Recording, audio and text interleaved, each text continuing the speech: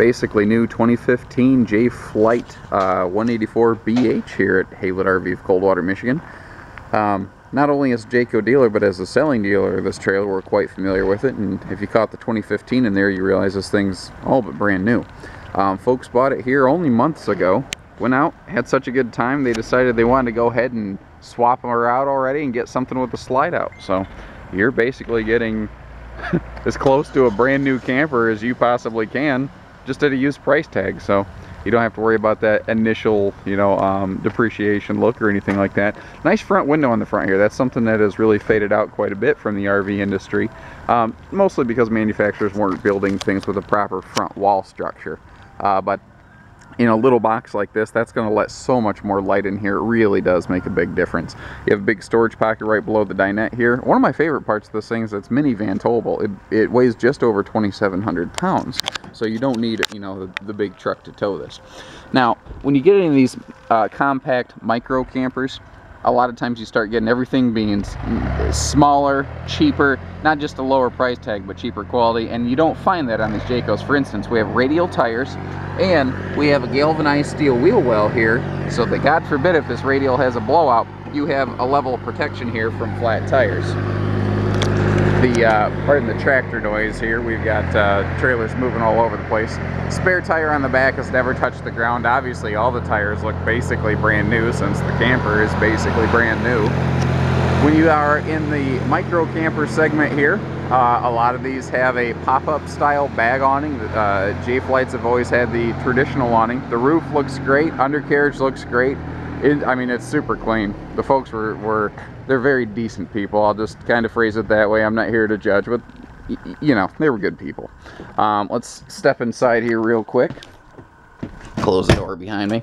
Deadbolt the lock behind me in case someone follows me, and that's a, a little trick I learned a long time ago. It's not fun when you're 15 minutes into a video and somebody pops in. So, 100% uh, LED lighting inside. That's another area where these Jay Flights definitely, definitely are supreme in this small camper segment. This is a narrow body camper, by the way. This is seven and a half foot wide, not eight foot wide like a normal travel trailer. What that means in English, it's easier to see around, it's lighter, it's it's easier to tow and park. This the, this is a great little camper. Um, you notice we have a, uh, a side mount air conditioner here. In these micro campers, most of the time, some of them standard have no air conditioner. Um, you need to check that. The uh, thing is there, when you do add an uh, air conditioner, you get a 5,000 BTU wall mount.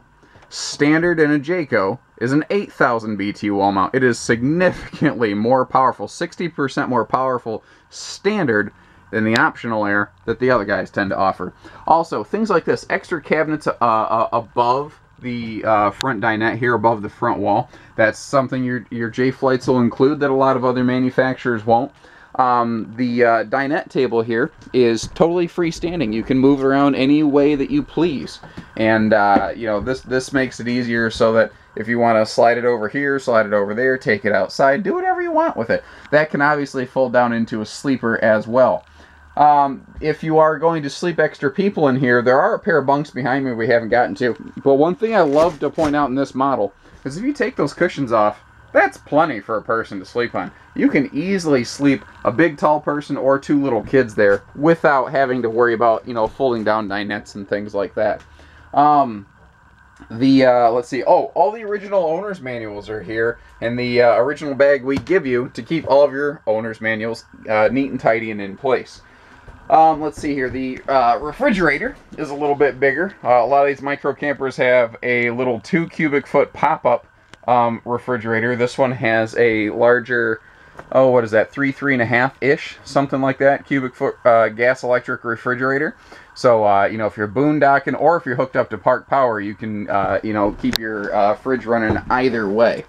The kitchen storage space in here is very generous given the small nature of the trailer. You know, this is an awesome little uh, uh, weekender, week-long zip-around trailer. And, you know, that's uh, the folks kind of went out and found themselves going, wow, we're having a really good time. You know, we just we just like a little bit more space. That's all all there really was to it.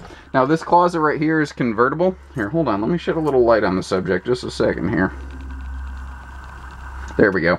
So uh, you see here that you've got a, a, nice closet going on here, and, but it's also all adjustable shelving. You can move that around any way that you please. And that's actually a floor to ceiling storage space.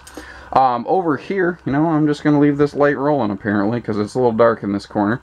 Um, uh, we have a pair of bunks. Previous owners didn't have kids. Um, they just use these bunk spaces for pure storage. Now, uh, something I want to point out here is the fact that these are Denver mattresses. Uh, long story short, the bed bunks in this are 50% thicker uh, in your Jaycos. Anywhere you sleep in a Jayco, they tend to spend the most money.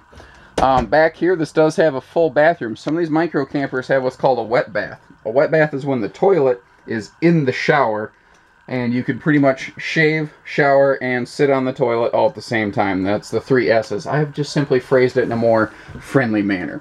Uh, also, we have both a power, uh, or pardon me, not a power vent, but uh, a vent up here as well as a skylight. Uh, a lot of these micro campers just have a, a vent above the shower, no true skylight. So again, there's a lot of areas, especially the construction. I haven't even talked about the construction. The fact that you can actually walk on and maintain this roof Whereas uh, a lot of these micro campers, you cannot do that. You would just absolutely walk right through the ceiling.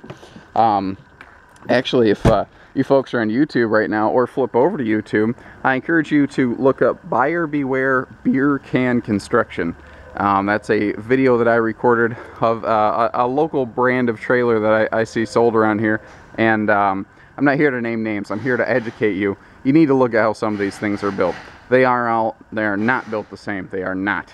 Uh, that's why I put these videos together because first time campers, you guys don't know what you don't know. And you won't find out until way after you've invested a lot of money. So that's why I put this information out here to try to give you the best information possible before you pull the trigger on something. So give us a call, 800-256-5196, Haylett RV of Coldwater, Michigan. Take care, stay safe, happy camping.